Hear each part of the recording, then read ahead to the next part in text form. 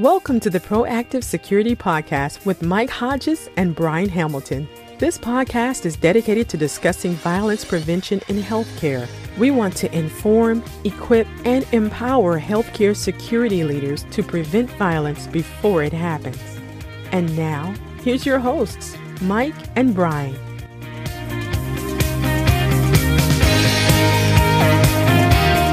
Hey, everybody, I'm Mike. And I'm Brian. And this is the Proactive Security Podcast, episode 12. We've got a very special guest today, the distinguished Conner Samuels. He's the director of safety and security at Medical City Hospital in Dallas, and uh, he has a tremendous history in threat assessment. And Conner, we really appreciate you being on the show and wanted to uh, give you a chance to introduce yourself to our audience. Appreciate it. Very happy to be here. Tell us a little bit about your history. I am originally from North Carolina, moved up and down the East Coast, spent some time in Virginia, was with Richmond City Police Department for several years and with also with Prince George Police Department. Jumped out of the law enforcement world into the corporate world, which was the hardest transition I think I've ever made in my entire life. Stayed with the corporate world for a good 17, 18 years with telecom and that was with Virginia and to Pittsburgh, and then eventually down here to Dallas. Telecom bought, sold, bought, sold, and uh, one of those transactions kind of left me where I was going to think I was going to stay retired for quite a while, but golf game is, like I said, not that great. So, uh, got a job with Medical City Dallas in healthcare, and you know, it was really interesting during my uh, interview, I said, I don't know anything about healthcare. And they said, Well, we don't know anything about you. And it's been just kind of, and actually coming up on my fourth year down here in just a couple more weeks. So that's kind of the, the short overview of everything. That's awesome. We we appreciate you being here. I think it's interesting to hear you talk about some of the difficulties in transition you know, from policing to private security or corporate security, and then moving from corporate security, where you've, you've, you've had some big jobs with some big companies, and then uh, moving into healthcare, which I think is a transition for a lot of people as well. You know, I went straight from the military into healthcare security, didn't know anything about it. and that was definitely a, a culture shock. But, you know, one of the things you and I have talked about, which I think spawned this conversation, is the role of threat assessment in security practice you know one of the things we've talked about is how threat assessment and and tools like threat management teams and things like that how they've not really manifested well or been adopted well in healthcare security spheres. You know there are individual practitioners out there that do a great job but collectively as a as a subset of the security industry healthcare is really not grabbed onto uh, threat assessment and threat management very effectively. So i'm curious can you talk with us a little bit about why you think that is? You know, I, I can't really give the answer on why I don't think that healthcare has really adopted to the whole threat assessment, threat management piece. You know, I, I think in general, threat assessment, threat management, and this would include public, private, pretty much everybody, it's still relatively new. I got lucky in regards to when I was with telecom, I had a very supportive CSO who really had a seat at the table and the executive protection program and the threat assessment was really driven by the board. And, you know, we talked about that. And so instead of having that top down approach, you know, we actually had the board that really mandated our executive protection program. And so I, you know, oversaw that for the entire US and which gave me really an opportunity to go out to Gavin de Becker School. It's a week long school in, in threat assessment. And absolutely, that was probably one of the best things I've ever done in my entire life. You know, it really made my eyes uh, a lot brighter in regards to the threat assessment piece. You know, coming from law enforcement, you know, threats made, oh, we're going to investigate the threat. And, you know, that's kind of been the premise that was always there. But, you know, being in the telecom world, it was driven, it was pushed down by the board. And so it became a part of our processes and processes. I, you know, I had teams throughout the entire United States that we assess threats when threats were made. In, in healthcare, you know, just in my short four years here, I don't think workplace violence gets the recognition, and that would be targeted violence in regards to maybe threats, but also the reactionary violence from the day to day.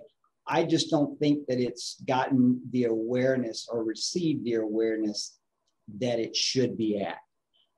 When I came into the healthcare and I started looking at a lot of the the articles that were being pushed out by the Joint Commission and other organizations, they were very old and the data was very old. But 99% of the articles that I were looking at all talked about reactionary violence.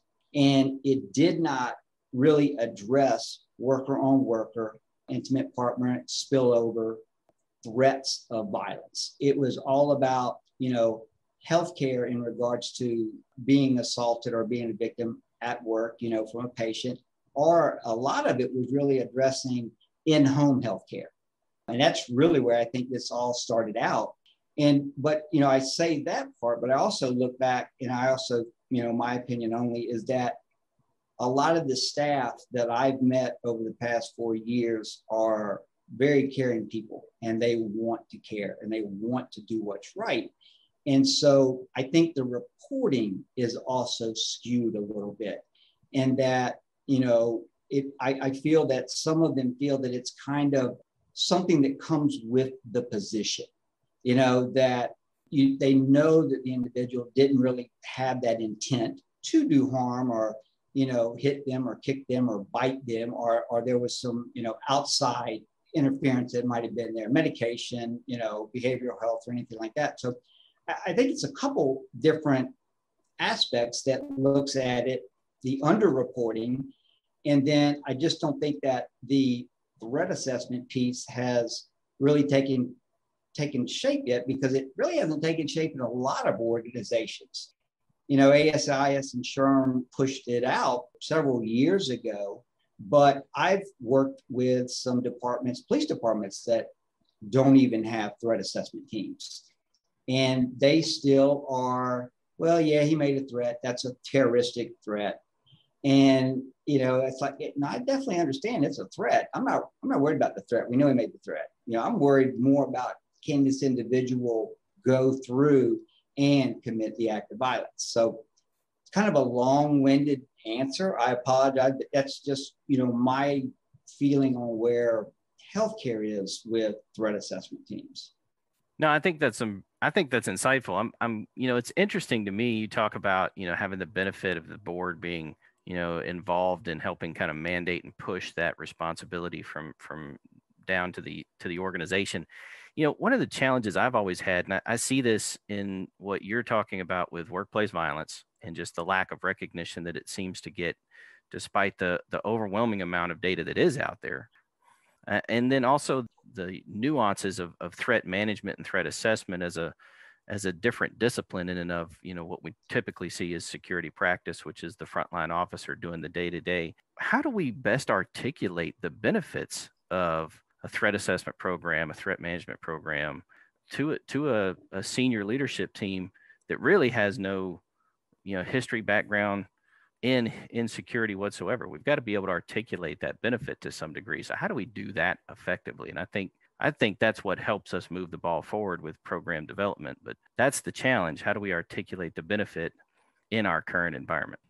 Well, and I, you know, and everybody can the way you articulate it is really, as we all know, the reduction, right? The reduction of workplace violence. And you know, and that's the ultimate goal.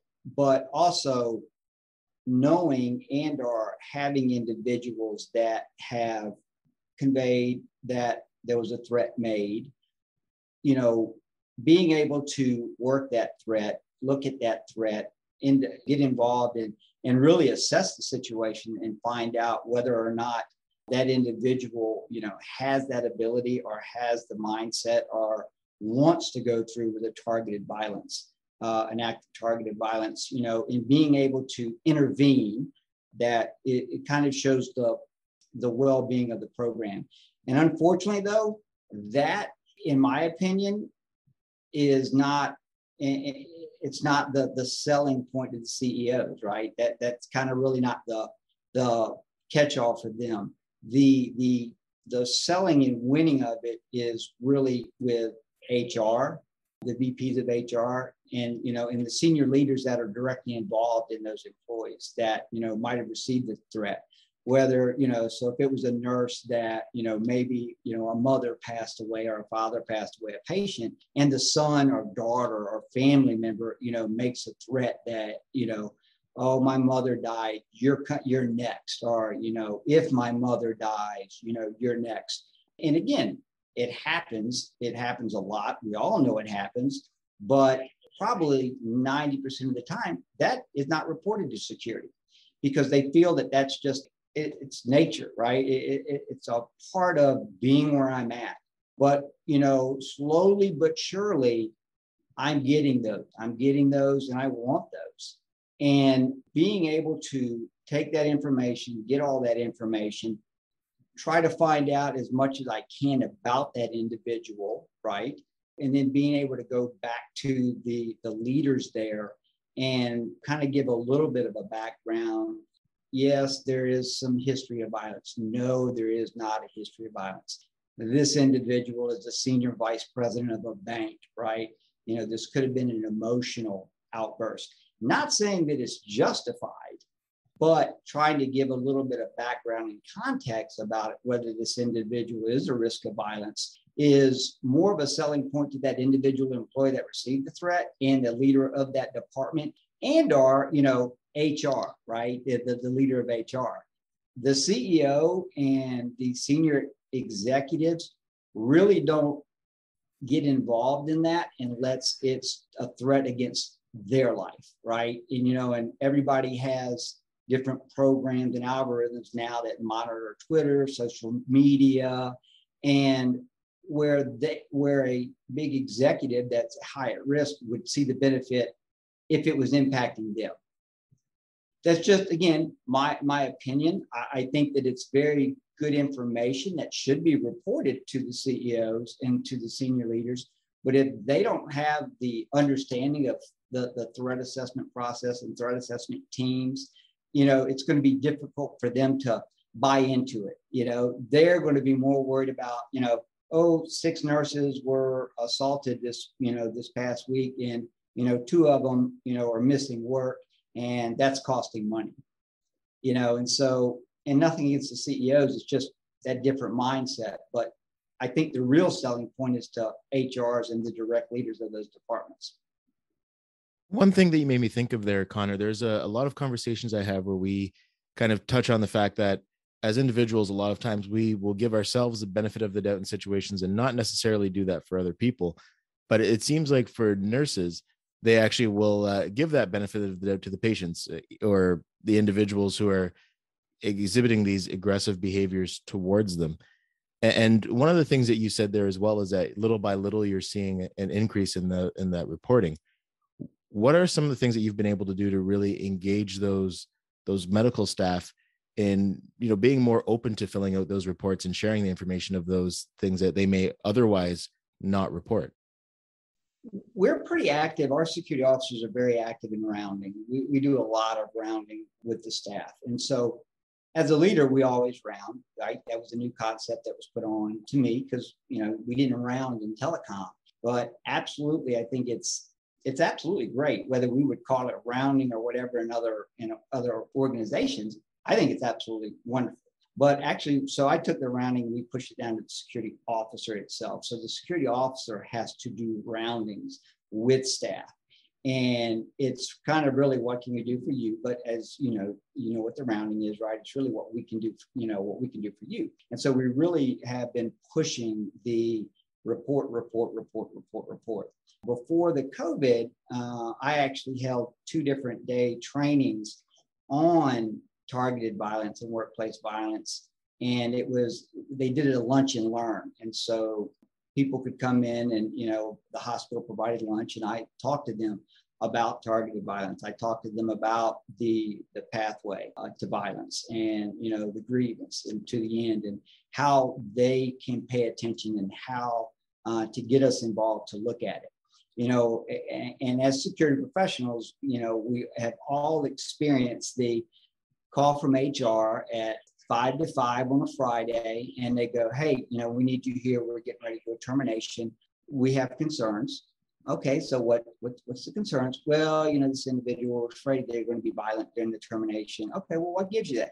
Well, he's been making threats for the past six months. You go, wait, wait a minute. you know, wait a minute, hold up. And so, you know, those to us, myself, you know, are, are learning. That, you know, that's something that really can be keyed on in working with HR. And so a lot of the supervisors and leaders after that, those uh, lunch and learns, you know, it became a constant, you know, hey, I was writing up an employee, they made this comment, they made this comment. And, and again, you know, having, you know, the, as we would call it, zero or no workplace violence, depending on where you're at, you know, you have to address that and you have to separate those two, right? I mean, if threats are made, that's that's a violation of workplace violence policy. That that's an HR, they can deal with it however they want to do.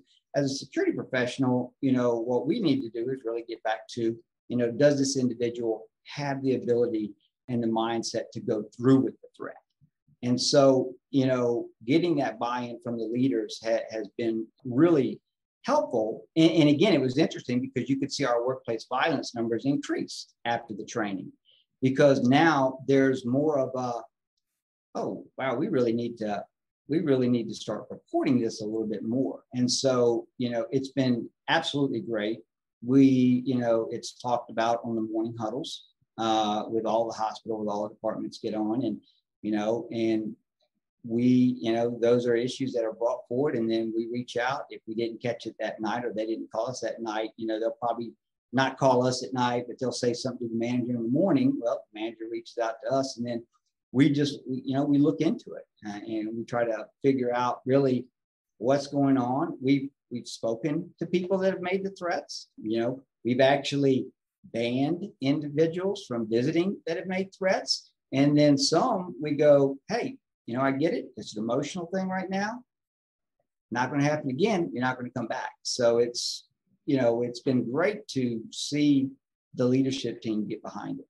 You know, you, you mentioned the training that you received or having the opportunity to go to the Gavin de Becker School, which, uh, you know, you and I have discussed my deep jealousy that I have not been able to do that. And so uh, I'm curious, you know, when we talk about setting up you know threat assessment practice in the context of a security program you know you you gave some of that scope discussion there about what our role is in that assessment process. One of the things that i'm interested in and i'm a big proponent of is is identifying uh, you know specialties in that regard. So you know obviously there's active threat management that frontline officers do on a daily basis taking in information and reporting you know doing doing actions in real time but then you know how how do you suggest or how do you look at building out threat assessment professionals to support your security team? And you know like i've tried to do that through an investigator role uh, associated with the, the public safety department but then also have been evaluating that with combining some of our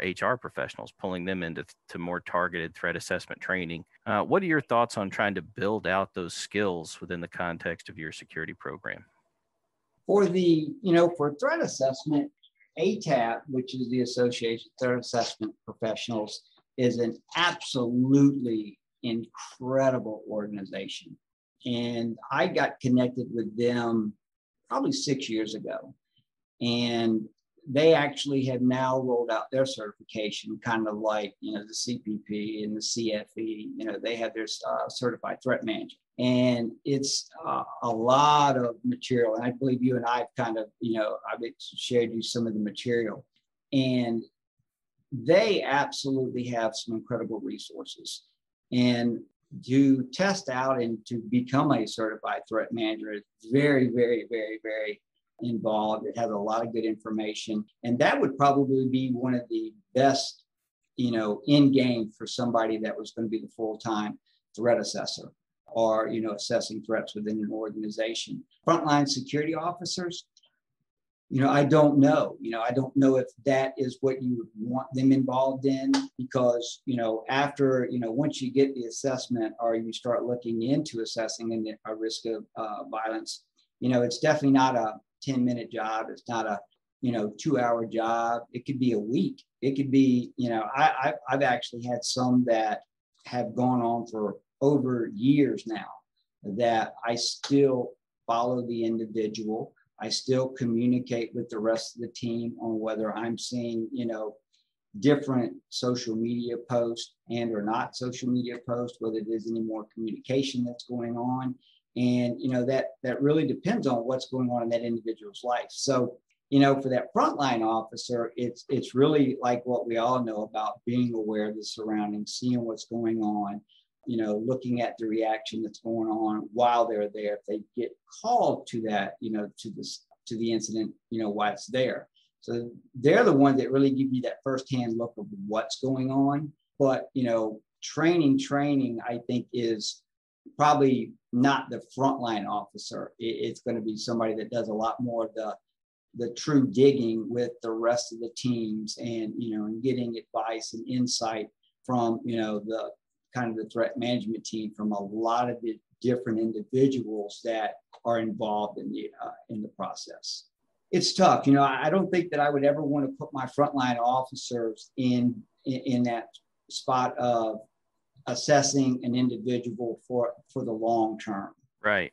For the reactionary, right then and there, you know, it, there there's really two different mindsets that are going on because you know the targeted violence is more in regards to the, the threat assessment process of it. No, and I think in, you and I have talked about this a little bit as well. I think you know that that kind of active threat assessment process of being able to determine actions that need to be taken in real time, that reactionary assessment process is tremendously valuable for your frontline officer. But to your point, and I think, and you know, this is something that people I think don't necessarily understand about threat assessment is you can you can follow that threat for years. And we've seen cases across the united states especially with with you know active uh, active shooter presentation where we've had individuals who have you know held that grudge or held on to that grievance for you know five years six years seven years before they ever actually finally get to the place where they manifest the the act of violence. And so it is a it is a dedicated process of tracking trending, monitoring, and and con- continuing to follow that case over what can be, to your point, years to make sure that that that violence doesn't actually manifest, which is a lot of work.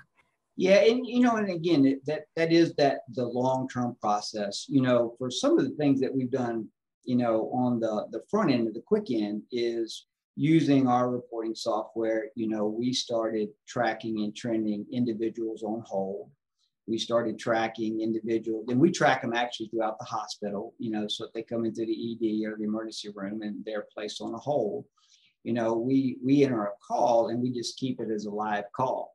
And you know it will go off every 30 minutes on our dashboard and you know and we check in and we find out you know any changes what's going on what's the difference medicated not medicated any anger not anger. You know we do a lot of rounding and then what we do is we actually track that individual throughout the hospital.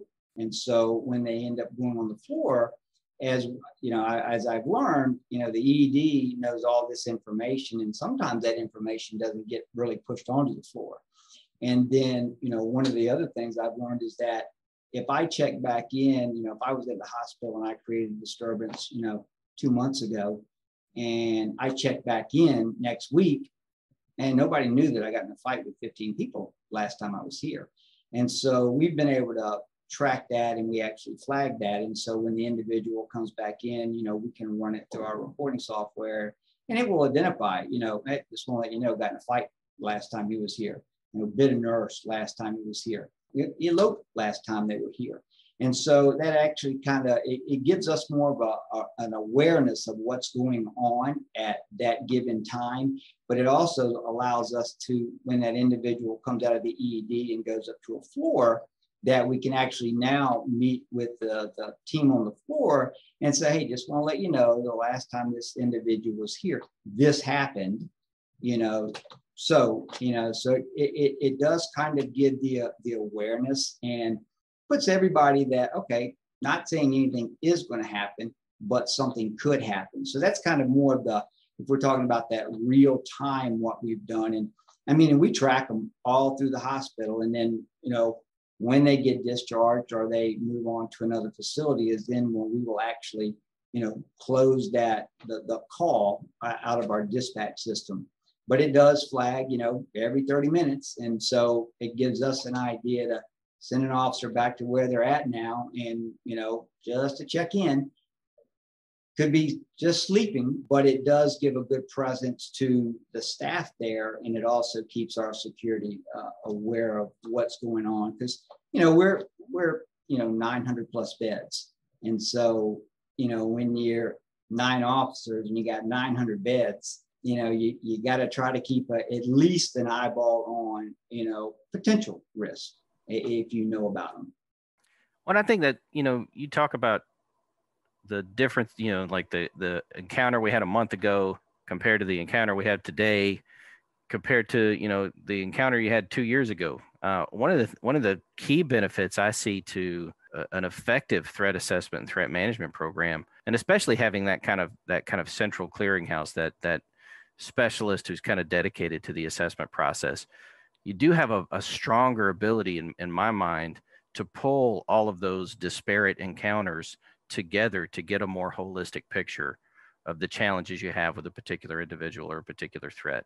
And I think that is a benefit that often goes unmeasured or, you know, without a little understanding there is, you know, it all kind of feeds into the ability to empower that frontline officer to react more effectively in the moment when they encounter that subject or to feed more effective information in the organization so we can mitigate and plan better for that particular individual. I agree. And, you know, and I know that, you know, a lot of hospitals, you know, will put magnets up on the doors, you know, fall risk or, you know, maybe another risk or there's something out there. And, and we haven't gone to that yet. You know, it's been proposed. Uh, you know, right now that that information, you know, they'll, they'll keep in a chart if we let them know. But you know, the EVS individual that's going to go in there and clean that room while the patient's in there doesn't know about that chart that says this individual is at a risk of violence. And so, you know, I've made recommendations to, you know, create the little magnet sign. It doesn't have to say fall. It could be an exclamation point. It could be a stop. It could be, you know, anything that the staff is all trained on that you know is just a visual type of recognition that you're going into a room that there could be a risk or we've experienced a concern in the past and just you know be a little bit more aware of your surroundings when you're in there.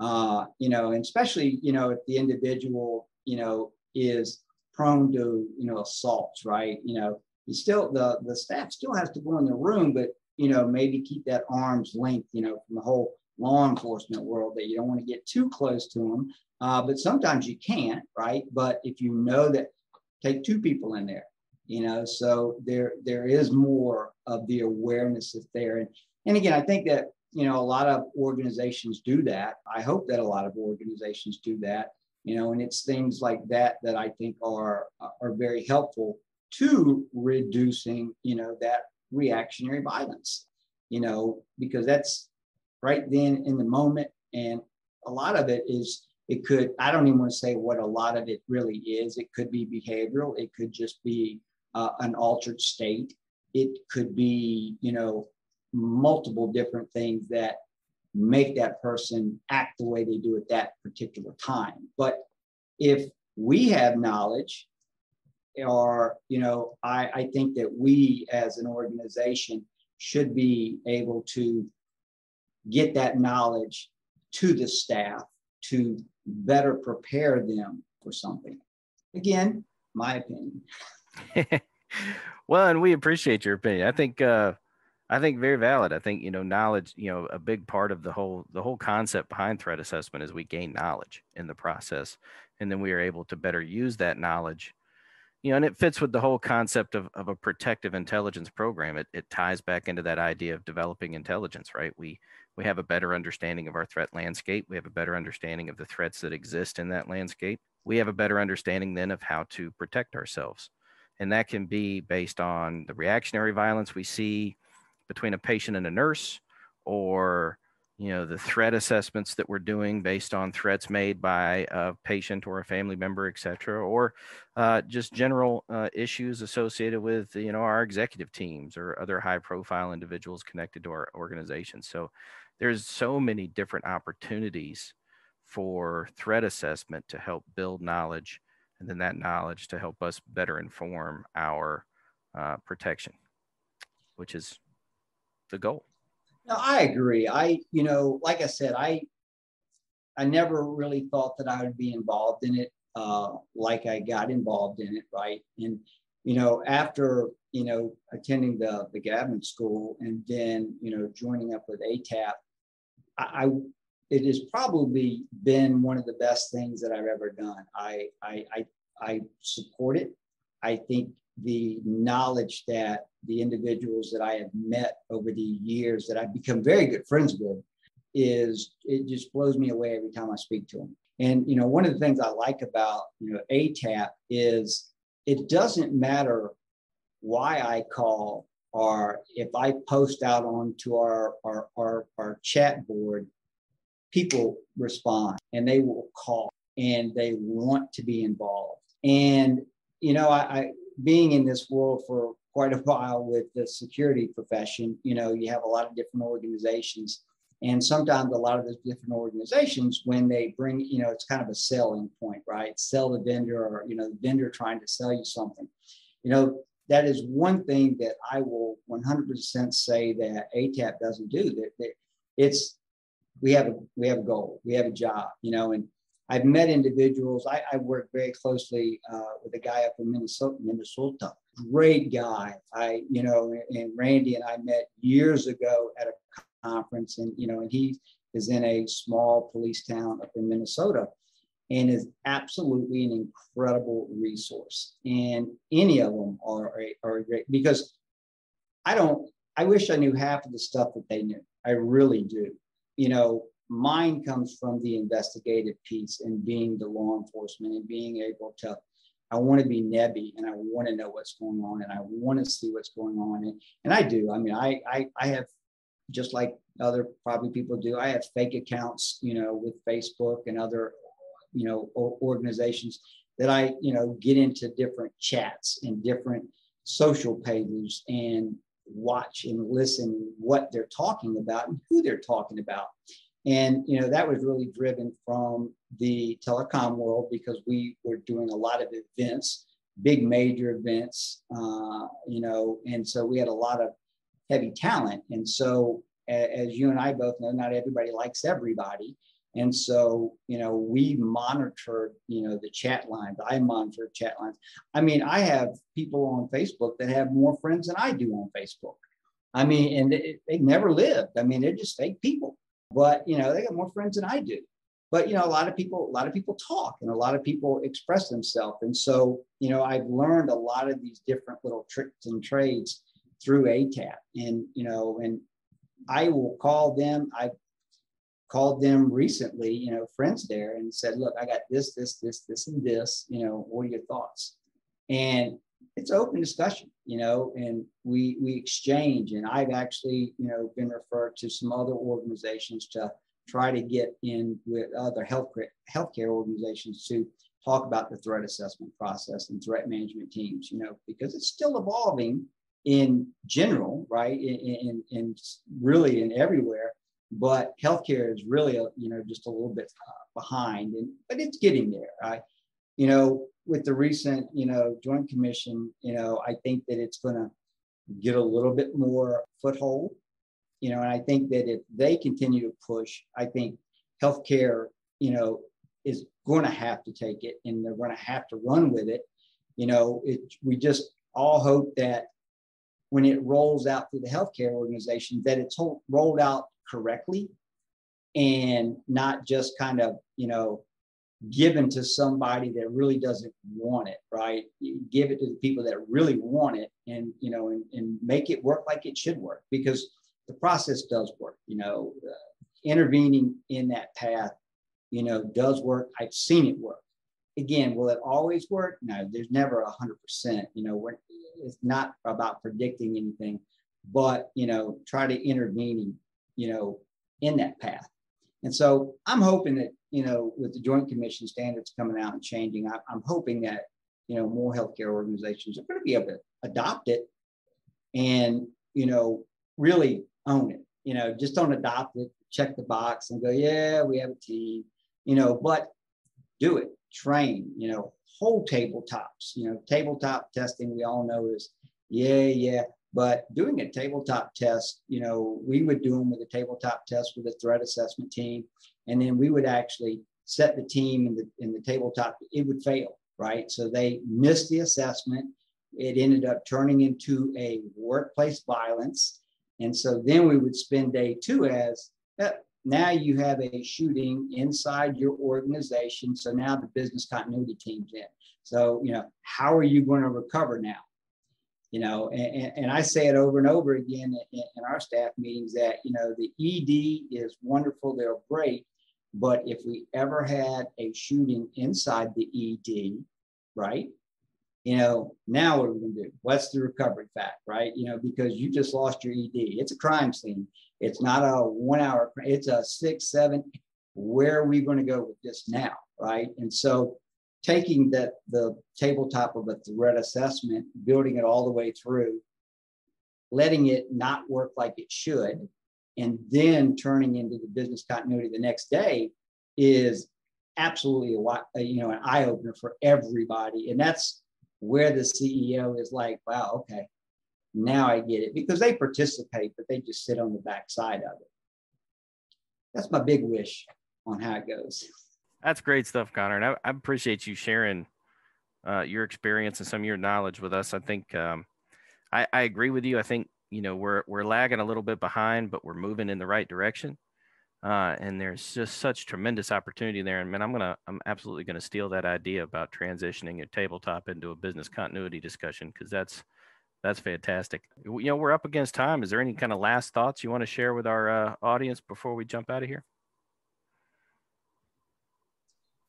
No, I appreciate the time. I, I appreciate you, you know, letting me talk about it. You know, by no means am I the expert on it by any means. Uh, you know, there are definitely a lot of great organizations, and you know, it's it's an evolving, uh, you know, thought process. You know, it. I won't even say evolving; it's here now, and you know, the ATAP has done a great job in getting school assessments, you know, because one of the things we didn't talk about was schools, right? But if you've noticed, a lot of school districts now have adopted the threat assessment teams. And, and we've seen that, right, because of most of the, what we were talking about earlier with the school shootings, right? There's always that, oh, well, yeah, we, you know, we had reports on this, we had this, and, you know, there was never any engagement in it.